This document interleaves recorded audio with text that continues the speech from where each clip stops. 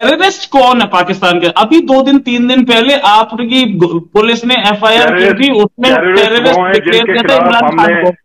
Terrorist वो हैं जिनके खिलाफ हमने कार्रवाइयाँ की हैं। अब वो इतने ज़्यादा हैं मैं अब नाम नहीं ले सकता लेकिन अच्छा, आपको पता है। वो अच्छा क्लासरा साहब आपको पता है मैं बेहोश होते होते बचा जब मुझे किसी आदमी ने बताया कि पाकिस्तान में भी एंटी टेरर डिपार्टमेंट है।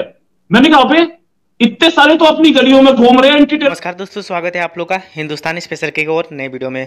दोस्तों, जैसा कि आप लोग जानते हैं कि इमरान खान को पाकिस्तान की पुलिस ने टेररिस्ट घोषित कर दिया है। और दोस्तों, इसके पीछे उनका बयान रहा है। लेकिन जिस प्रकार से एक पूर्व पीएम, जो कि ये बात सही है कि वो काफ़ी ज़्यादा पॉपुलर हो चुके हैं अपने बयानों की वजह से, उसके बाद से पूरी दुनिया में पाकिस्तान की थू थू हो रही है।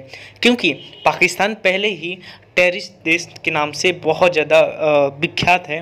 बहुत सारे लोग जो हैं वो पाकिस्तान को टेरिस्टों के जो देश है, उसका मानते हैं और इस, और यही वजह रही है कि आज पाकिस्तानियों से पूरी दुनिया के जो लोग हैं, वो डर रहे हैं। और उसके बाद पाकिस्तानी पूर्व पीएम का एक पाकिस्तान में ही टेरिस्ट घोषित कर देना, ये दिखाता है कि पाकिस्तानियों की इज़्ज़त और भी ज़्यादा पूरी दुनिया में ख़राब हुई है। और इसीलिए पाकिस्तानी मीडिया, जो कि इमरान खान के पक्ष में है, वो लगातार सवाल उठा रहा है और वही दूसरी तरफ़ पाकिस्तानी गवर्नमेंट ने साफ़ तरीके से ये कह दिया है कि आने वाले कुछ ही दिनों के अंदर जो टेरिस्ट घोषी इमरान खान को किया गया है, उसके बाद से उनको गिरफ़्तार कर लिया जाएगा। और देखने वाली बात है कि ये कितने दिनों में होता है, लेकिन ये जो न्यूज़ आई है जिसके बाद से पूरी दुनिया में ये न्यूज़ चली है उसके बाद से पूरी दुनिया में पाकिस्तान की एक बार फिर से थू थू हुई है। तो चलिए हम पहले वीडियो में आगे की ओर बढ़ते हैं और देखते हैं कि जो पाकिस्तानी मीडिया है और उसमें जो रोहित शर्मा जी जो हैं वो कैसे पाकिस्तानियों की फटकार लगा रहे हैं। काम करें जो इनके साथ होता रहा। बहुत गलत है लेकिन इसमें आम लोग जो है वो सफ़र कर रहे हैं। हमारे जैसे जो आम लोग जो काम करना चाहते हैं इंटरनेट वगैरह पे वो नहीं कर पा रहे। जैसे नहीं मेरे जैसे। अरे अच्छा, मेरे जैसे बोला था एक चीज़ बोला था क्लासा साहब ने बोला था कि पाकिस्तान इंडिया से तो बहुत सीईओ हैं। हम पाकिस्तान से सीईओ एक्सपोर्ट करना चाहते हैं अमेरिका को। भाई सीईओ मत एक्सपोर्ट करो सिर्फ़ तीन आदमी एक्सपोर्ट कर दो। पाकिस्तान बड़ा खुश होगा। एक इमरान खान दूसरा फवाद चौधरी और तीसरा शेख राशिद। उसके बाद आपके कंट्री में कोई प्रॉब्लम नहीं है। ले जाए ज़रूर आप फ्री में ले जाए। हमें नहीं चाहिए। भी लेते जाए साहब भैया ये तीन आप भेज दोगे कहीं पे भी किसी भी जो कोई कंट्री एक दो बिलियन डॉलर लेकर के भी ले रहा हो ना तो दे देना। तो हजूर हम मतलब- कुछ दे देंगे हम कुछ दे देंगे।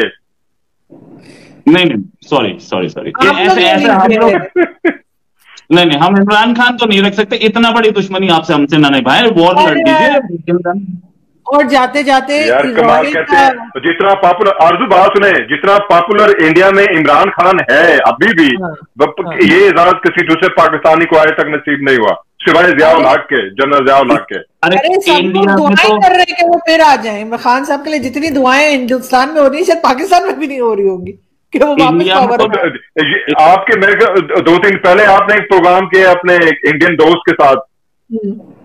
और बड़ा वायरल हुआ है वहाँ पे मैंने क्लिप देखे हैं उसके। साहब साहब इंडिया में तो जूरासिक पार्क भी पॉपुलर थी। मतलब थोड़ी है डायनासोर हमारे कंट्री में आ जाए। ये कौन सी बात हुई? मतलब हमें पॉपुलर है आपकी बात हम नहीं मानते हैं। बिल्कुल नहीं। अच्छा, आप पॉपुलर है जो आप ले जाए। जी जी रोहित मतलब ये कोई ज़बरदस्ती हम लेना नहीं चाहते आप फिर भी दे पैराशूट से ड्रॉप कर दोगे क्या हेलीकॉप्टर से? ज़बरदस्ती ले तो आप मिसाइल आप आप मिसाइल भेज सकते हैं हैं? उसके बाद कहते हैं कि गलती से हो गया तीन चार आ गए गलती से। तो यहाँ गलतियाँ नहीं हो सकती। तीन लोग है कि आप हाँ। आज फायर हो गए हैं मुझे पता है। आज तीन आदमी टर्मिनेट कर दिए गए इंडियन एयरफोर्स के तीन ऑफिसर्स और अगर टर्मिनेट किया गया तो that was not intentional fire अगर इंटेंशनल फायर हमारी गवर्नमेंट ने किया होता तो टर्मिनेट करने का कोई मतलब नहीं बनता था। That was one misfire ये ये इससे प्रूव हाँ, होता है।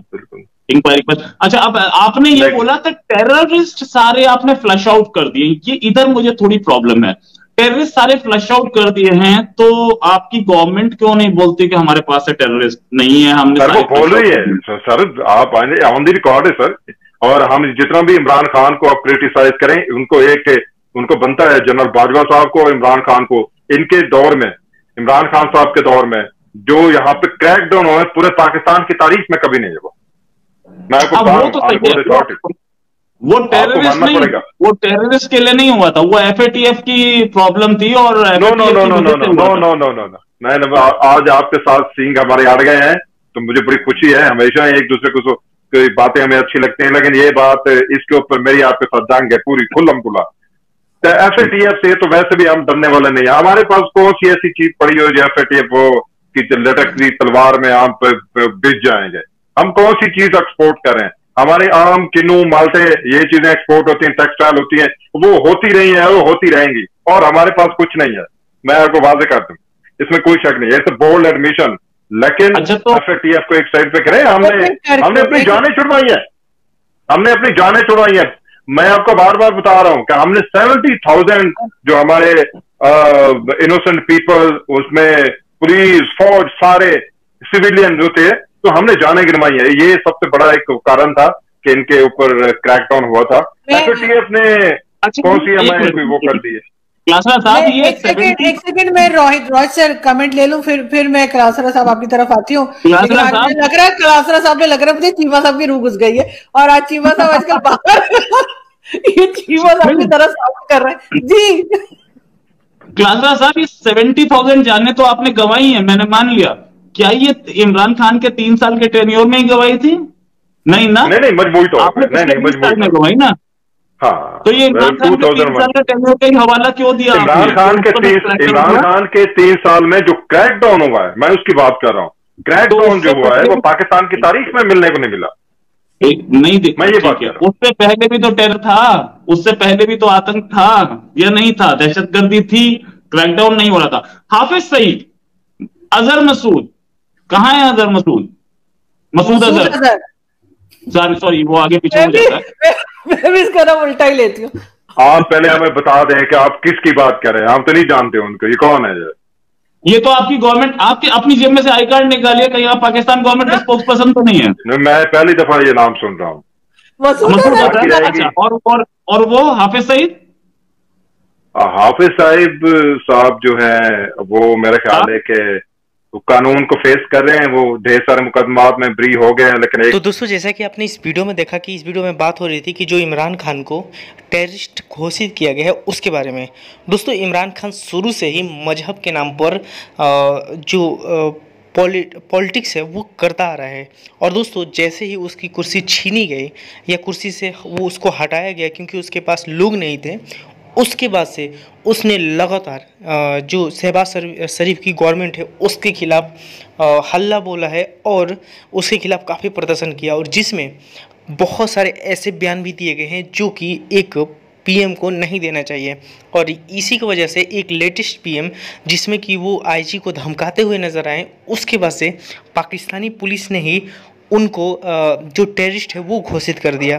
तो अब देखने वाली बात होगी कि पूरी दुनिया में तो पाकिस्तान की थू हो ही रही थी, लेकिन अब देखने वाली बात होगी कि इस पर आने वाले दिनों में क्या जो बात हो रही है कि उसको गिरफ़्तार किया जाएगा, क्या वो गिरफ़्तार होंगे या नहीं होंगे। तो दोस्तों, बस आज की वीडियो में इतना ही। आई थिंक आप लोग को ये वीडियो अच्छा लगा होगा। तो अगर आपको वीडियो अच्छा है तो वीडियो को लाइक और हमारे चैनल हिंदुस्तानी स्पेशल को ज़रूर से सब्सक्राइब करें, क्योंकि हम आपके लिए ऐसी वीडियो लाते रहते हैं। तो मिलेंगे इसी नई वीडियो के साथ, तब तक लिखते रहे हिंदुस्तानी स्पेशल